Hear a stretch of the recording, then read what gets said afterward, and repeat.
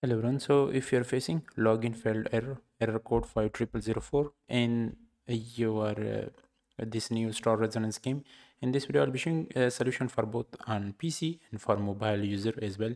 So whether you are facing this issue on mobile or if you're facing this issue on uh, PC, you will be able to get the solution. So the first thing you need to do to fix this type of issue is uh, you need to simply check server status page. So mostly this type of issue is occur from server side. If the server is down for everyone in this case you need to wait for some time and the server is back then you will be able to fix the issue.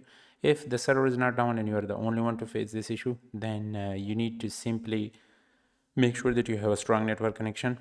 Also uh, uh, you need to simply switch your network connection as well.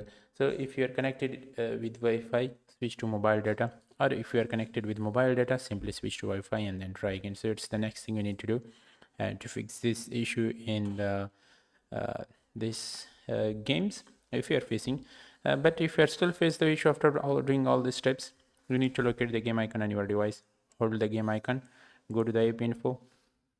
You need to click on the force stop button in the bottom then go to the app permission. So if you have restricted any type of permission to the game you need to it that permission and uh, then go to the storage.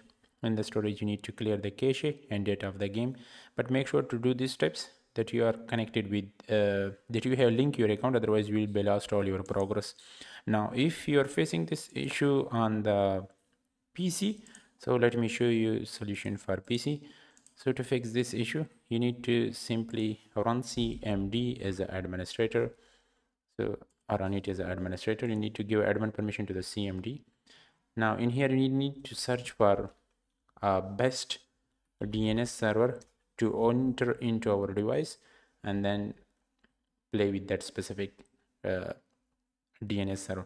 Now for 1.1.1.1 we get minimum ms 32 ms maximum is uh, 214 ms and average is 107 uh, ms let's check for the another one which is 8 0.8 0.8 0.8 press on the enter button.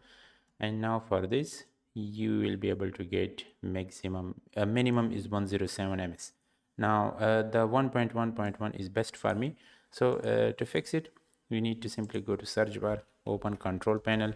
In the control panel you need to go to your network settings network and internet network and sharing center and uh, open your wi-fi address open your IP4 change the first one is to 1.1.1 and the second one is 1.0.0.1 and then click on the ok button and start it. So these are some of the best things to do to fix this issue.